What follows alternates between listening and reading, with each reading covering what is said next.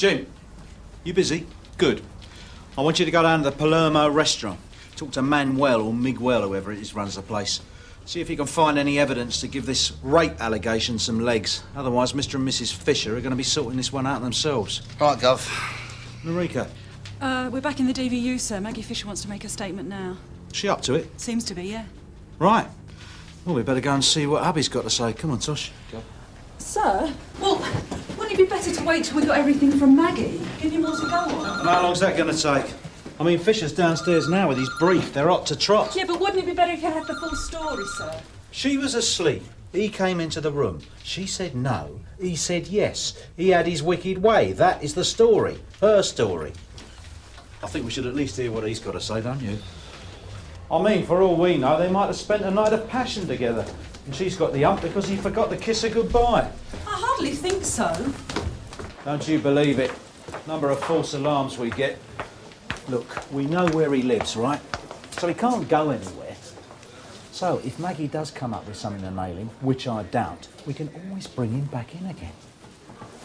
Sir. So, Mr. Fisher, I'm Detective Inspector Burnside. I'm sorry about all this inconvenience, but uh, a very serious allegation has been made against you. And obviously, we have to investigate it. You understand? Yes, of course. You also understand that you're not under arrest.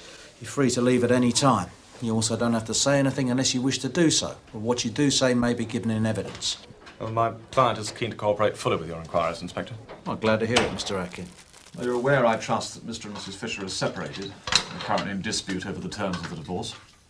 So, Well, obviously, if Mr. Fisher were in prison for rape, he'd be at a severe disadvantage contesting any settlement. Ah, right. Interview with Mark Fisher. Those present, Detective Inspector Burnside, Detective Constable Lines. Also present, Mr. Fisher's solicitor, Edward Atkin. 11.38. Right, Mr. Fisher, would you like to give us your version of what happened last night and this morning? Well, my wife and I had dinner last night at an Italian restaurant, the Palermo. Who invited who? Um, I can't really remember. It just came up in the conversation on the phone a few days ago. I think she suggested it so we could iron a few things out, and I thought she meant, you know, emotionally between us. And I thought, why not? Give it one last go, you know. So you wanted to get back together again? Quite honestly, before last night, I didn't know. Um, I love her, but, uh, you know, So what happened? We had a nice enough meal, civilized. She was very sweet, really, which surprised me. She can be very cutting. Anyway, by the time the bill arrived, I realized I'd drunk far too much to drive. We both had, so I said I'd get a cab home. She said that was silly because I'd have to come all the way back here tomorrow, today, to pick the car up, and that I should doss down at the house. She suggested that you come back. Yes. Go on. Well, I did. We walked home, and she put me in the lounge on the sofa bed, and I went to sleep. And? Well, about six o'clock, I woke up, and I said to myself, this is silly, us like this. And I went upstairs. Yeah. I woke Maggie up, and I told her how I was feeling, that we shouldn't be apart. And how did she react to that? Well, she agreed. That you should get into bed with her? Yeah. And then what? My wife and I made love. So you asked him back? Yes. It was ridiculous him getting a cab. I never suggested he was coming back for anything except sleep. Alone, downstairs. Even so, cosy meal for two, invitation back to your place. Some people might say you were asking for trouble. They can say what they like. I didn't ask him to rape me. You're not living at home at the moment, then, Mr. Fisher? With a friend in Fulham, left a couple of months ago. Left or thrown out? We agreed I should go, give us both some space. So, what was the trouble? Difficult to say, really. It's all right. I've been there. It's always something, though, isn't it? What was it, money? Not really. No, of course not. You both got good jobs, haven't you? Who, in fact, uh, earns the most, you or your wife? Is this relevant? Well, I'm just trying to understand your relationship, Mr. Fisher. You see, you say that your wife agrees to you getting into bed and making love to her, and then she turns around and accuses you of rape because she thinks somehow that's going to get her a better divorce settlement. I didn't say that. I don't know why she's doing this. It's a possibility I've floated, Inspector. And after all, it's not uncommon to try to blacken one's partner in divorce cases, is it? Well, it's a bit strong, though, isn't it? I mean, she must be earning a few quid, working for a city accountants. And you sell insurance? I work in financial services, yes. Well, I was just wondering who earns more. Just out of interest.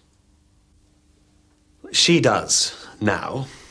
And do you think this had anything to do with your marriage splitting up? No, and it wasn't why I raped her either. I, I mean, it doesn't mean I raped her either. It's all right, Mr. Fisher. I know what you mean. Right, Maggie, just a few points I want to clarify if you can bear it. This bit where you say it never occurred to you that Mark might come into your room. Yes. Well, playing devil's advocate, I'd say that two people who were once close and have had quite an intense evening. It wasn't intense. Well, you said at one point he told you he still loved you. Well, it wasn't intense for me. As far as I was concerned, we were discussing business. Okay, but if a bloke I'd just split up from had told me he still loved me and he'd been drinking and I asked him back to spend the night in another room, okay, but still in the same house, well, it would have at least crossed my mind that he might try something on. He didn't try something on. He raped me. Look, I know Mark. I've lived with him for four years. It never occurred to me he'd do anything like that. To tell you the truth, I didn't think he had it in him.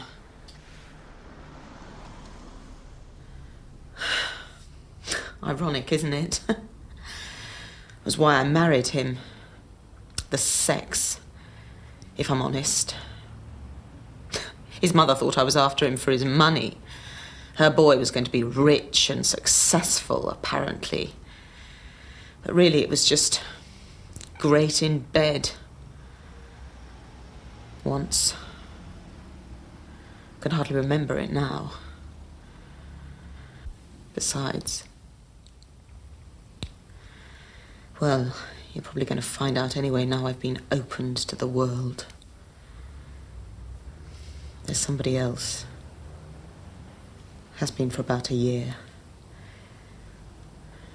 He was with me the night before Mark stayed. So, if it wasn't the